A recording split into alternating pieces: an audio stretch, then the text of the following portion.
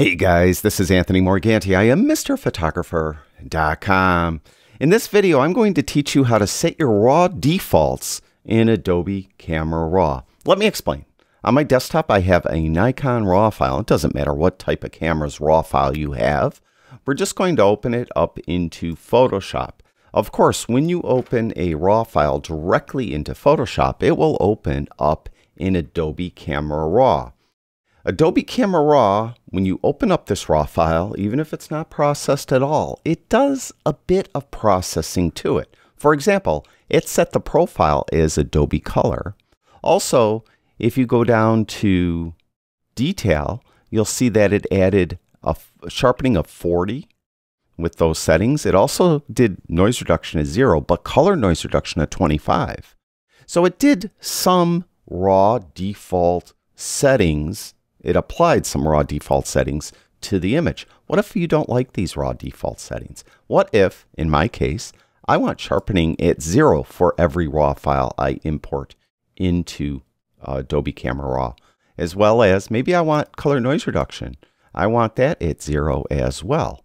Maybe I don't want to use the Adobe Color profile when I import images. Maybe I prefer to use Adobe Landscape or Adobe Portrait or something like that. Let's just say, for the sake of argument, I want to use Adobe Standard. Okay? So whenever I import images into Adobe Camera Raw, it's going to use the Adobe Standard uh, profile, and it's going to use, or it's going to set sharpening, noise reduction, and color noise reduction at zero all the way across. Now I could even do more. Maybe I want to add some something with the curve here. I want to um, do I don't know, something. Or maybe I want um, the basic tab, I want to have, you know, shadows all the way up and highlights all the way down or something like that. If that is the case, you could do it right now. What you'll need to do though is after you set these settings is create a develop preset with these settings. So I have the settings the way I want them. That is that detail just everything down to zero and Adobe standard profile, right? What I could do then is go right here to this icon, presets, and go to this little new page icon. So we're going to create a new preset. And by here, again, I want to use the profile Adobe Standard. I didn't do any settings there, and I didn't do any settings there. I did do detail settings. I didn't do color mixer to color grading. Optics I didn't do. Effects I didn't do. Calibration I didn't do, but lead process version set. And we're going to give this a name. I'm just going to call it my this was shot with the Nikon Z7 II, let's do it this way, to import preset. All right, let's just call it that. And I'm going to keep it in my group user presets and click OK. All right, so I have that preset. But I manually have to do that if I bring images into Adobe Camera Raw, raw files into Adobe Camera Raw? Well, you could have it do it automatically. That's the whole point of this video. Go to these three dots and then go all the way down to the bottom, set raw defaults. So what I could do now by raw defaults, I could just go global, let's say, and use the Adobe default. That's what it was doing already. I don't want that, right? I could click it. I could do camera pre uh, camera settings, right? So if I shot with this Nikon Z7 II, and inside of my camera, I used the landscape profile or the black and white profile or something like that. If I set camera settings, that means when I import the raw file into Adobe Camera Raw or open the raw file in Adobe Camera Raw, it will open with that camera setting profile. I don't want that. I want to use those other settings I talk about I talked about. So I would choose the preset down here. Z7 II. Now, whenever I open up images in Adobe Camera Raw, it's going to use what I called the Nikon Z7 II import preset. But you know what? I kind of made this camera specific, so you can actually do this camera specific. So let's undo this. Let's go back to Adobe default up there.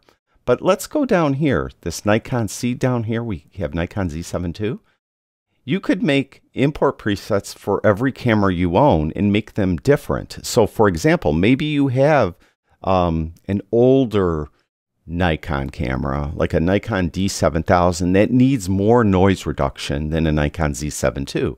So, you could go to those uh, detail defaults and give it more noise reduction. And then for any images that are imported with the Nikon D7000, it will get an import preset that has more noise reduction than, let's say, the Nikon Z7 II.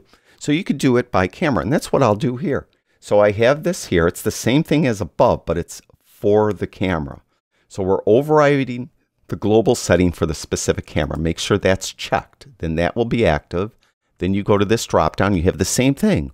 We're already doing Adobe default. We didn't want that. Camera settings, I mentioned I didn't want to do that. That's again the profile that you have in the camera when you took the shot. I want to use this preset, Nikon Z7 II import preset, or I could choose a different one there. So I'm doing that. Now that is what I want to use. Now, if I had more than Nikon Z7 II, I could show the serial numbers and then I could do this to each individual Nikon Z7 II. Let's say I have one that I use for landscape photography and I want to use a landscape profile in that one, but I have another one that I use for portrait photography only and I want to use a portrait profile on that one and maybe I have different settings as well for each of those. I could click this button, it will show the serial number, and then I could do individual presets per serial number. But I'm just going to do the one, create default. Now it's right there. Now, if you happen to be running Lightroom on your computer at, along with Photoshop, this will also apply this import preset to any imports you do in Lightroom, in my case, with the Nikon Z7 II. I hope that made sense. I'll click OK and then it will apply this each time I import a raw file in here. If for some reason you want to delete this, click these three dots right here and include uh, delete default. Now we're not going to do that right now. I'm going to click OK and I'm going to cancel out of here. I just want to show you now. I'll take this raw file again and I'll open it up into Photoshop. And you'll notice it's using the Adobe Standard preset. Remember, that's the one I chose instead of the Adobe Color. And if I go down to detail, you'll see everything zeroed out. So it opened up with those default settings that I wanted it to open up with. Furthermore, if you go here and you go to, uh, if I do some adjustments and I reset to open, or it will reset itself to this. So for example, if I like just, you know, I don't know, let's just do this real quick, right?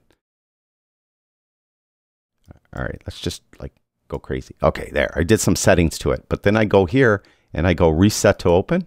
It'll reset it to the Adobe standard and the detail settings that I had set. So that's how you uh, create a camera profile for Adobe Camera Raw. And again, that is an import profile in Lightroom as well. So it um, you kill two birds with one stone, so to speak. Thank you, everyone who watches my videos. I really do appreciate it. I'll talk to you guys soon.